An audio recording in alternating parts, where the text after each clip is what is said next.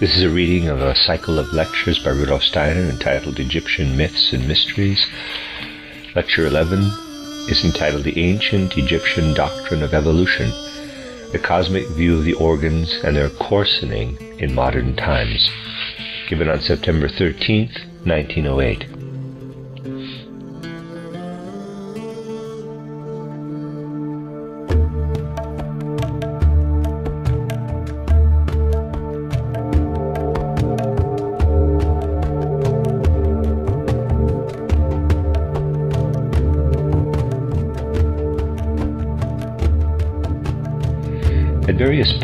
In this cycle of lectures, we've tried to present the facts of post Atlantean evolution, and we have indicated that in our time there is a kind of repetition or resurrection of the experiences that mankind went through during the Egypto Chaldean culture.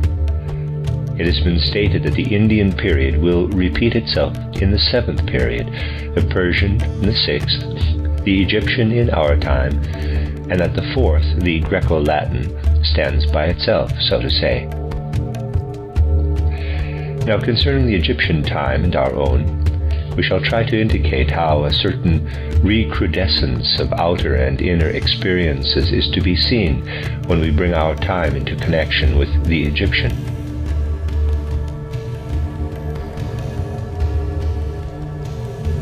We have seen that in the spiritual worlds, there exist mysterious forces to which there correspond certain other forces in the physical world which effectuate the appearance of these repetitions. Thus do these resurrections of outer and inner experiences originate. In the middle between these stands the Greco Latin period, during which the Christ appeared upon the earth and the mystery of Golgotha took place. It was also pointed out that not only the external evolutionary relationships on the physical plane had changed, but that also the relationships in the spiritual world had become different. I have described how the soul was in the Egyptian time when it looked upon the gigantic pyramids, how different it was when it reincarnated in the Greco Latin period, and how different it is in our time. We have seen that not only does this occur, but that also for the period between death and a new birth in Kamaloka and Devachan, there takes place a sort of progress or transformation, so that the soul does not experience the same thing when it enters into Kamaloka or Devachan from an Egyptian or Greek or a modern body. Externally, the world of the physical plane alters but progress also occurs in the spiritual world, so that the soul always experiences something different there. It is primarily from the standpoint of this beyond that today we shall consider the mighty event of the Christ's appearance on our earth. We shall approach in a much deeper way the question what significance has the advent of the Christ on our earth? What significance has the Christ's appearance for the dead souls, for the life on the other side, the spiritual side of existence? For this purpose, we must explore many different things that affected souls in the Egyptian period, both within and beyond the physical plane. From our studies of the earlier great epochs of Earth evolution, we can derive that the Egypto Chaldean period furnishes a mirroring in knowledge and experience of what happened in the Lemurian time, of what happened on the earth during and after the departure of the moon. What men experienced then, they experienced again as a memory in what the Egyptian initiates gave them the Egyptian initiate himself experienced during his initiation events that man otherwise experiences only when he passes through the portal of death. To be sure, the Egyptian initiate experienced this in a different way than does the ordinary person who dies. He experienced it differently and in a much fuller way. It will be well for us now, as a basis for these considerations, to describe the essence of Egyptian initiation in a few words. This initiation is essentially different from that of the time after Christ. for through his advent, initiation was fundamentally altered. We have seen that men had to descend further and further into the material world, gaining increasing interest in the physical world. In the same proportion, however, the experience in the spiritual world between death and the new birth became more pale and shadowy. The livelier man's consciousness became in the physical world, the more he enjoyed being there, the more he discovered the laws of the physical plane, the dimmer his consciousness in the spiritual world became. The consciousness in the spiritual world reached its low point in the Greco Latin time. But even before man had fully descended into these depths of matter, it had become impossible for him, within the physical body, to experience completely what one must experience if, during the period between birth and death, one seeks to gain insight into the spiritual world. The initiation event may be briefly described, and it is the same for initiations before and after Christ, although the conclusion is different. Initiation is nothing other than man's gaining the capacity of developing organs of vision in his higher bodies. Today man sees darkness when it is night. He is in the dark. This is because man has no organs of perception in his astral body.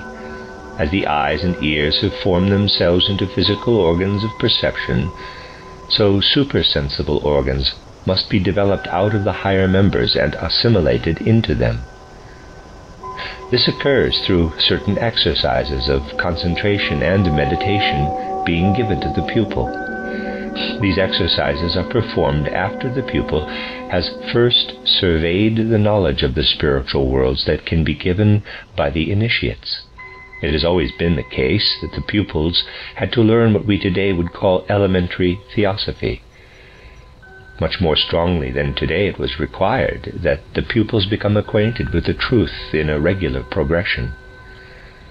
When there was enough theoretical preparation, and when the pupils were sufficiently mature, the exercises were given to them. These exercises have a definite purpose.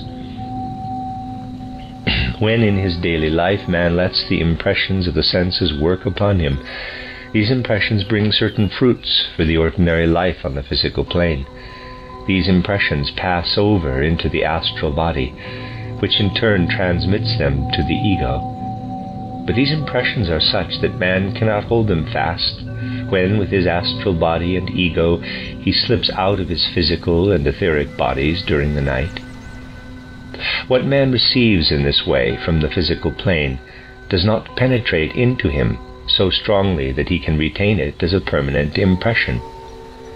But when a person performs the exercises of meditation and concentration, these are so adjusted, in accordance with thousands of years of experience, that the astral body no longer loses the impressions, but retains them when it slips out of the physical body in the night.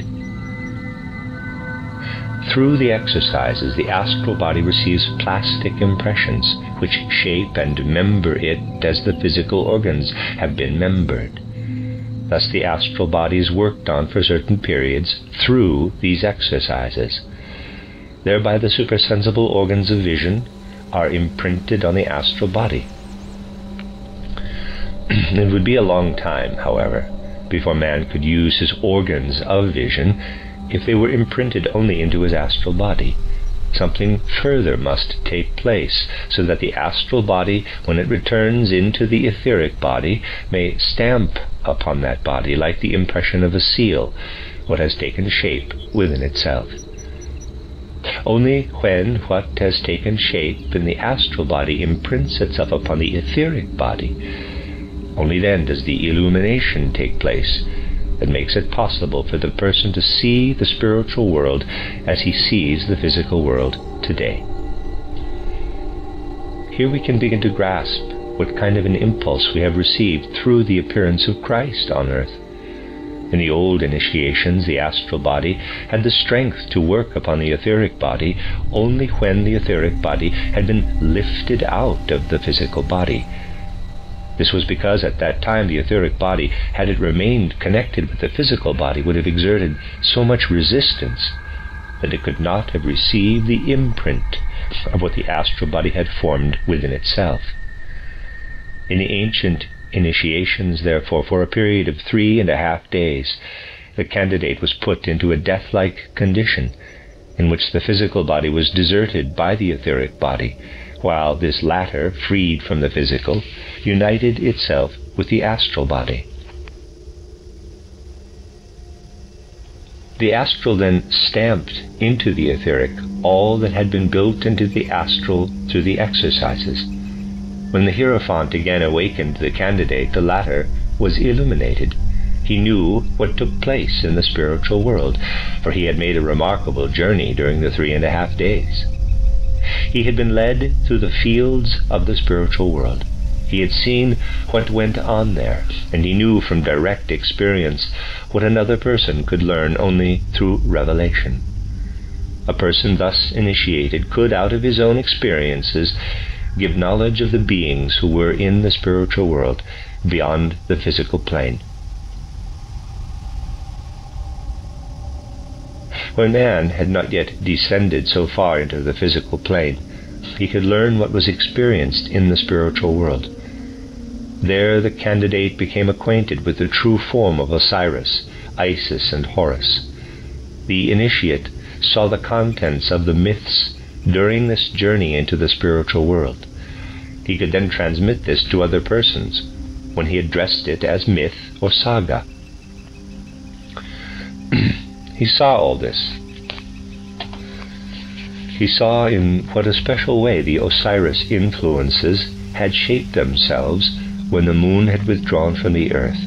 He saw how Horus issued from Isis and Osiris. He saw the four human types the bull, the lion, the eagle, and the true man. He also saw what happened to man between death and a new birth. The Sphinx appeared to him as a real form. He experienced it he could say, Oh, I have seen the Sphinx.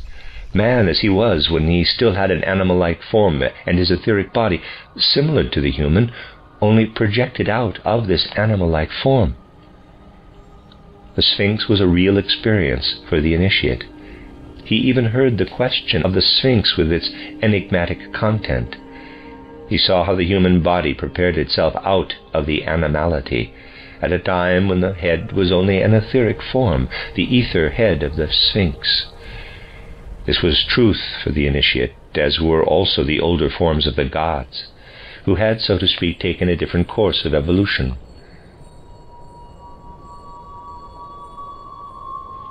It has recently been said that certain beings pursued a different path in evolution. The individuality of Wotan, for example, takes such a different course. Up to a certain stage it travels together with man, but then it does not descend so deeply. Man descends further into matter, and only later will he again join these beings, who are completing their evolution in the earth time. We have seen that a time came when Wotan no longer walked on our earth. Such beings, however, were not like Osiris and Isis. These latter were beings who had branched off still earlier, who completed their evolution on a higher level in full invisibility. These forms went through their special experiences. Let us look back into the Lemurian period. At that time, the etheric was not yet man-like in its form. In his etheric body, man was still similar to the animals and the gods who descended then had to accommodate themselves to the same animal forms in which man lived on the earth. If a being wished to enter into a certain plane, it must fulfill the conditions of that plane. This is also the case here. The divine beings who were connected with the earth during the departure of the sun and moon, who were on the earth, had to take on a form that was possible at that time, an animal-like form.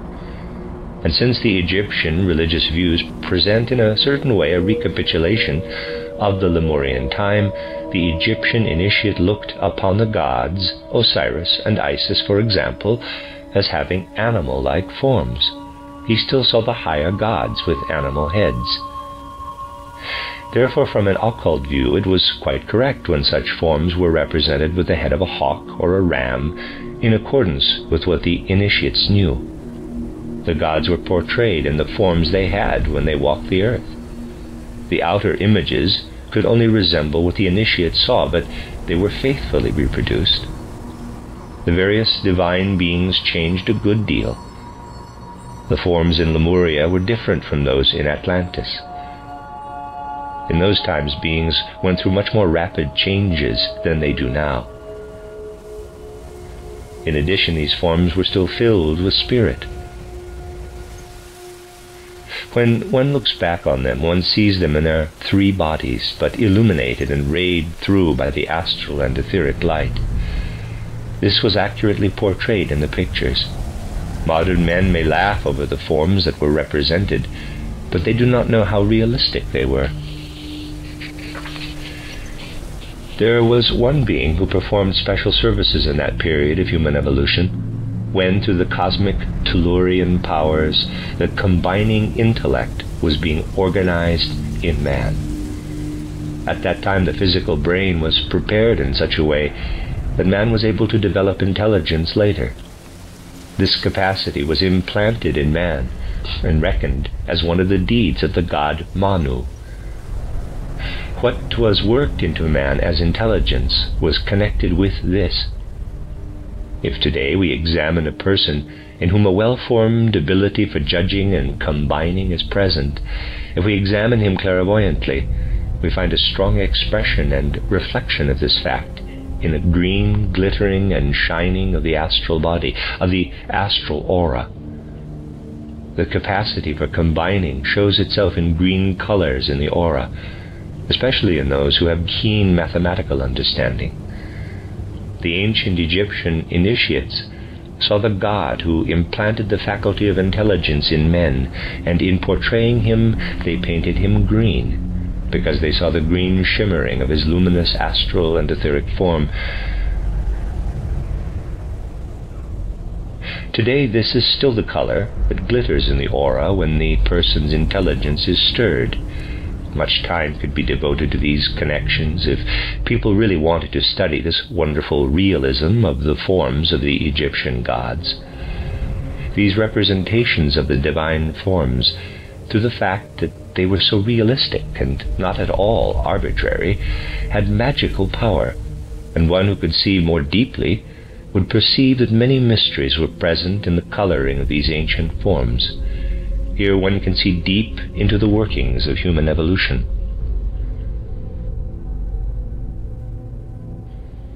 We have seen how what the initiates saw was retained in the Sphinx. Of course, this was not retained in a photographic way, yet it was realistic. But the forms were always changing. The form of the Sphinx gives an image of how man once looked. His present form has been shaped by man himself. We know that through evolution on the earth, various animal forms have been split off. What is an animal form? it is a form that has remained static while man proceeded further in evolution. In these forms, we see arrested stages of evolution to the extent that these forms have become physical. In the spiritual, something else has taken place. What man is spiritually has nothing to do with his physical forebears. Only the physical is connected with that. Man does not descend from the animals. The animal forms have remained unchanged. In man, however, the shape has been transformed to a certain level. The animals are previous physical human forms fallen into decadence. The situation is different in another realm of evolution. Not only have the physical forms of the animals remained unchanged, but also the rudiments of the etheric and astral forms as well. Just as the lion, at the time when it split off, looked quite different than now, so certain soul spiritual forms degenerate in the course of time when they remain at a particular stage. It is a law of the spiritual world that something that stands still on the same level of spirit or soul becomes more and more decadent. If, for example, the Sphinx stands still, it degenerates and receives a form that is like a caricature of what it originally was. The Sphinx has been preserved in this way on the astral plane up to our own time. To those who, as initiates or in some other lawful manner, penetrate into the higher worlds, these decadent forms have little interest, being only decayed vagabonds in the spiritual world. But when, in exceptional cases, persons equipped with inferior clairvoyant gifts are led into the astral world, such decadent forms approach them. The true Sphinx approached Oedipus, but it has not died even yet. Up to today, it has not died. It only approaches man in another form. When persons who have remained standing at a certain stage of evolution, among the peasants perhaps, rest in the fields at midday in the hot glow of the summer sun and fall asleep, they may have what could be called a latent sunstroke. Through such an impact on the physical body, the astral and etheric are loosened from a part of the physical. Then such persons are translated to the astral plane, and they see this last decadent offspring of the Sphinx, this apparition is called by different names. In certain regions it is called the midday woman. Many people in the country will recount that they have met the midday woman. She appears in many regions under many different names. She is a descendant of the ancient Sphinx, and as the ancient Sphinx put questions to the men who experienced her, so this midday woman also asks questions. You may hear it told how the midday woman asks endless questions of the men whom she meets. This torment by questions is a relic of the old Sphinx. The midday woman has grown out of the ancient Sphinx. This indicates how evolution proceeds beyond the physical world, how whole tribes of spiritual beings decline until at last they are mere shadows of what they were originally. Here we see another characteristic of the way in which things are connected in evolution. We have mentioned this so it may be seen how manifold evolution is. Now, to understand everything correctly, we must give some thought to the fact that in the course of time, man has organized the fourth member, the ego, into what he brought with him at the beginning of Earth evolution as his physical, etheric, and astral bodies. I have shown how this ego permeates the astral body, claims it for itself, so that it dominates it as higher spiritual beings formerly dominated it. It is a deed of the higher beings that this ego was implanted in the astral body. If evolution had proceeded further in accordance with the views of certain higher beings, it would have been a different evolution from what has actually taken place. However, certain beings remained unchanged they had not become capable of collaborating in implanting the ego in the astral body. When man appeared on the earth, he consisted of the physical, etheric, and astral bodies, all of which he shaped further. Now he was endowed with egohood by certain sublime beings who had their dwellings mainly on the sun and moon. These beings collaborated, so to speak, on the ego. But there were certain other beings who during the Saturn, Sun, and Moon evolutions had not raised themselves so far that they could take part in this organizing of the ego. They could do only what they had learned on the moon. They had to limit themselves to working on the astral body. Hence, there was implanted in man's astral body something that did not belong to his noblest qualities, did not come from the higher sublime beings, but from the retarded intruders who had remained behind. Had these beings done this on the moon, it would have been something lofty. But through the fact that they did this on earth as stragglers, they worked into the astral body something that placed it lower than it would have been otherwise. It became endowed with instincts and passions and with egoism. We must heed this fact that man was influenced from two sides, that he received impacts in his astral body through which the latter became debased.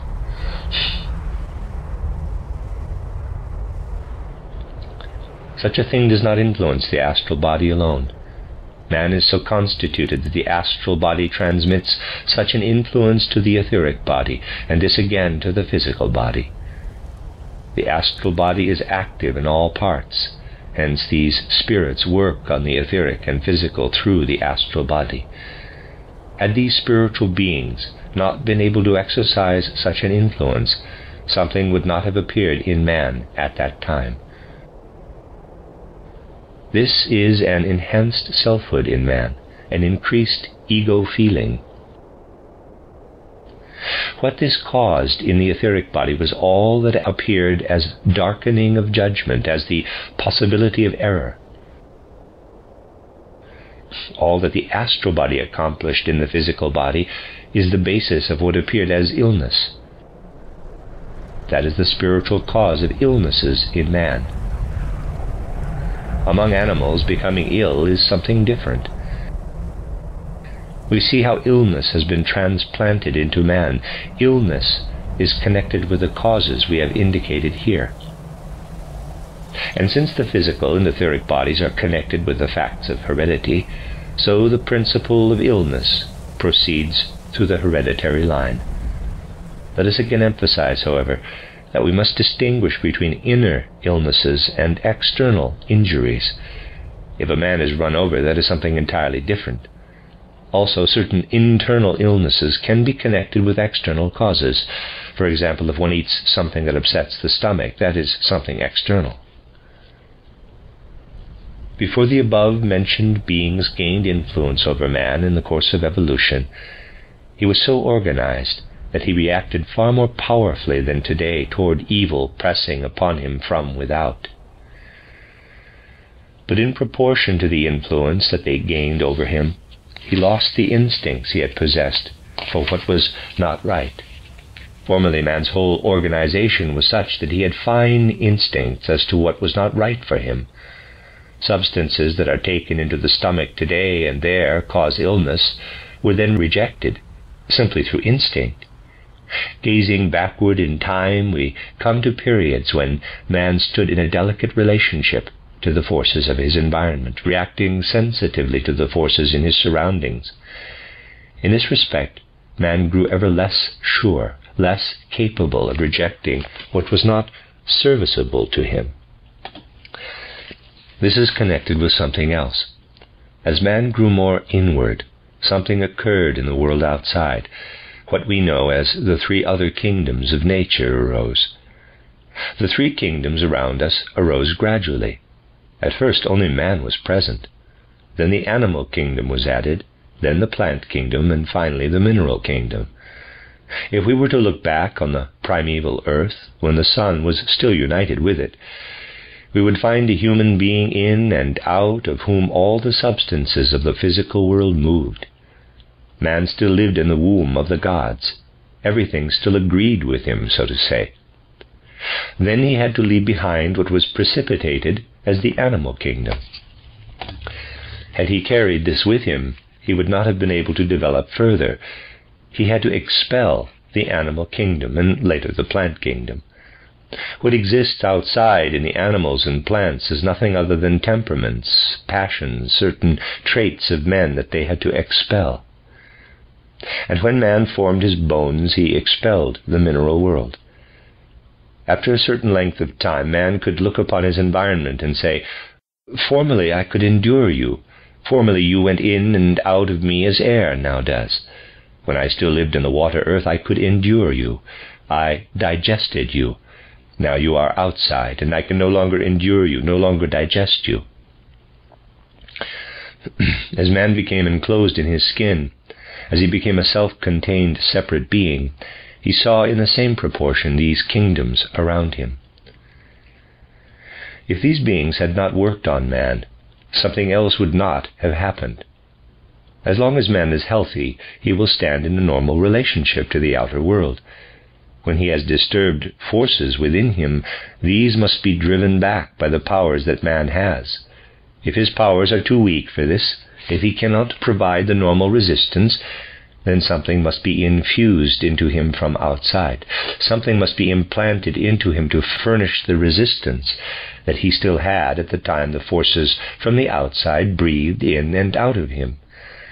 It may be necessary when a person is ill that the forces of a metal, for example, should be injected into him. It is because man was in connection with metals earlier, in connection with plant juices and similar things, that we are justified in applying them as medicaments. When the Egyptian initiates could look back over the whole course of world evolution, they knew precisely how the individual organs of the human body corresponded with the substances of the external world. They knew which plants and which metals had to be administered to the patient. A great treasure of occult wisdom in the domain of medicine will be raised to light one day, wisdom that mankind formerly possessed. Not only are many things bungled in medicine today, but often special healing powers are ascribed to this or that in a one sided way. The true occultist will never be one sided. How often must we reject efforts that would make a compromise with the science of the spirit? The latter cannot support a one sided method. On the contrary, it seeks to establish diversified research. It is one sided to say, Away with all poisons. People who say this do not know the true healing forces. Naturally, many stupid things are done today, for the professionals in most cases cannot grasp all the relationships, and a certain tyranny in medical science excludes what can proceed from occultism. If there were no campaigns against the oldest methods of medicine, against the injection of metals, there could be a reform. With modern experimentation, nothing is discovered that can hold its own against the traditional remedies, which only a lay ignorance can oppose as strongly as is often done. The ancient Egyptian initiates excelled in these secrets. They had an insight into the real relationships of evolution, and if today certain physicians speak in a condescending way of Egyptian medicine, you can soon tell from their tone that they know nothing about it. Here we touch upon something in the Egyptian initiation that should be known. it was such things as these that went over into the folk consciousness. Now we must reflect that the same souls that are in our bodies today were also incarnated in that ancient time. Let us remember that these souls saw all the images that the initiates made of what they knew through vision in the spiritual world. We know that what a soul takes into itself from incarnation to incarnation ever and again bears fruits in one or another way. Even though man cannot remember it, it is still true that what lives in the soul today lives in it because it was deposited there earlier. The soul is formed both within and beyond the physical life. When it was between birth and death, when it was between death and a new birth, Egyptian ideas were influential and modern ideas have proceeded from these. Today, certain definite ideas are developing out of the Egyptian ideas. What is called Darwinism today did not arise because of external reasons. We are the same souls who in Egypt received the pictures of the animal forms of man's forebears. The old views have awakened again, but man has descended more deeply into the material world he remembers that it was said to him, Our ancestors were animal forms. But he does not remember that these forms were gods.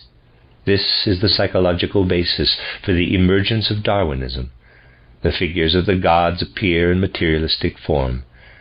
Thus, there is an intimate spiritual connection between the old and the new, between the third and the fifth cultural periods. Now, it is not the whole destiny of our time that man should see in material form what previously he saw in the spiritual. That would have been our fate had not the Christ impulse entered into human evolution in the meantime. This was not significant only for life on the physical plane. Today we shall see what significance the events of Palestine had for the other side of life, where the souls of the Egyptians sojourned after death. Here on the physical plane occurred the things we have already discussed.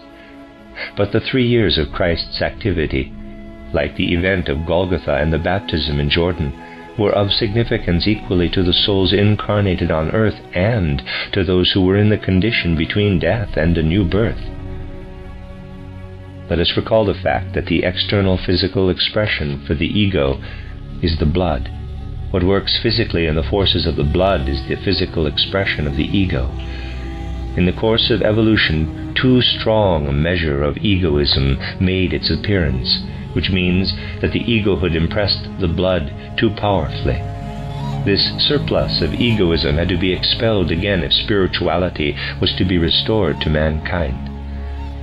On Golgotha, the impulse was given for this expulsion of egoism. in the same moment when the Redeemer's blood flowed on Golgotha, still other events were taking place in the spiritual world. The Redeemer's blood flowed out in the material world, while the superfluity of egoism passed over into the spiritual world. Superfluous egoism had to vanish from the world, and the impulse for this was given on Golgotha. In place of egoism, universal human love entered into mankind. But what was this event of Golgotha? What was this event of a three and a half day death on the physical plane? It was the enactment on the physical plane of what also had been experienced in spiritual development by one who was initiated.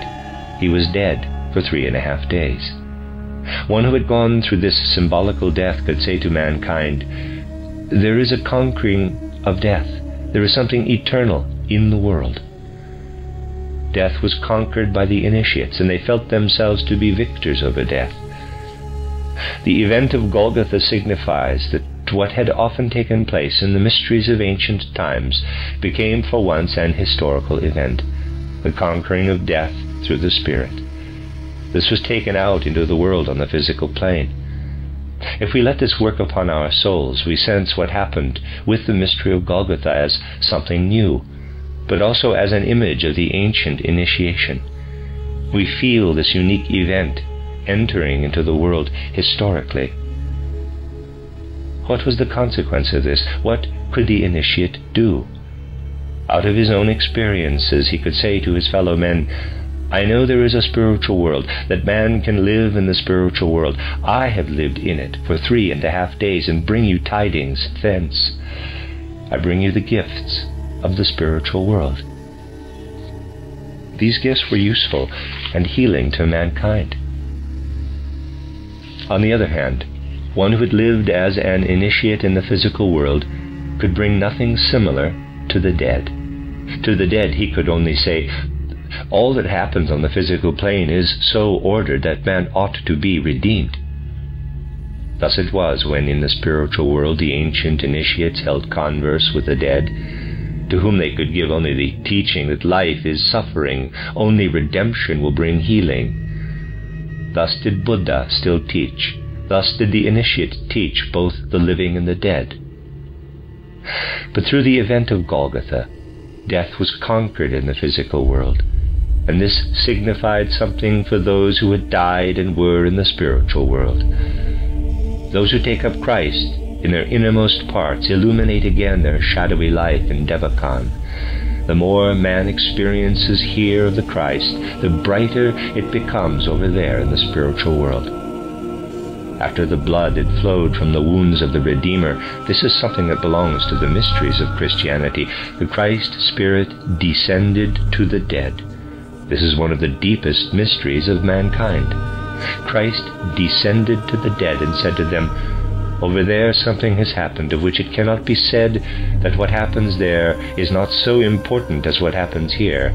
What man brings with him into the spiritual realm as a consequence of this event is a gift that can be brought out of the physical world into the spiritual world. These are the tidings that Christ brought to the dead in the three and a half days. He descended to the dead in order to redeem them. In the ancient initiation, one could say that the fruits of the spiritual were reaped in the physical. Now an event occurred in the physical world that produced its fruits and did its work in the spiritual world. One can say that it was not in vain that man completed his descent to the physical plane. He completed it so that here in the physical world fruits could be produced for the spiritual world. That these fruits could be produced came to pass through Christ, who was present among the living and among the dead, who gave an impulse so intense and so powerful that it shook the whole world.